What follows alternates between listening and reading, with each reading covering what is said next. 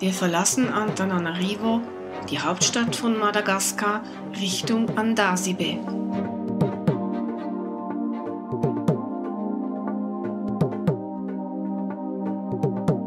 Schon bald erreichen wir die ersten Dörfer und terrassierte Reisfelder.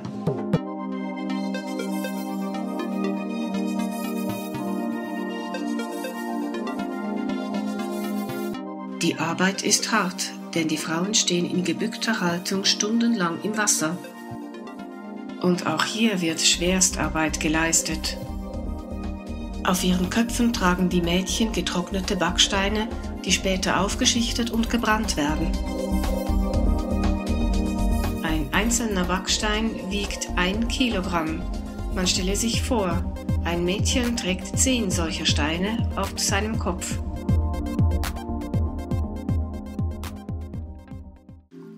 Nach etwa 130 Autokilometern erreichen wir unser Ziel, Andasibe.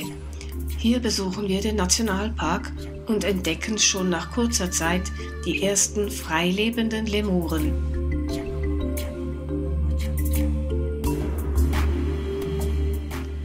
Es handelt sich um Indris, die hier faul herumhängen oder halsbrecherisch miteinander balgen oder die Besucher von oben herab neugierig beäugen. Und hier übt ein kleiner Sifaka das Springen. Immer wieder hüpft er von der Mutter zu einem Ast und vom Ast wieder zurück zur Mutter.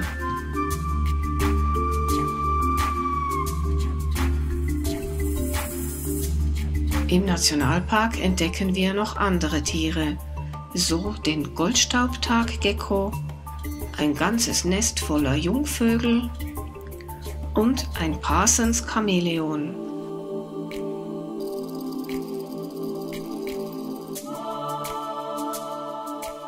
Den Höhepunkt der Reise erleben wir auf der Lemureninsel, wo wir von schwarz-weißen Waris begrüßt werden.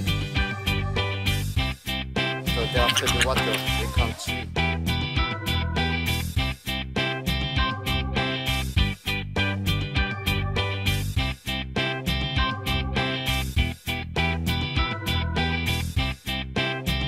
Die Waris, die etwa 4 Kilogramm schwer werden, sind genauso gesellige Typen wie die etwas leichteren braunen Makis.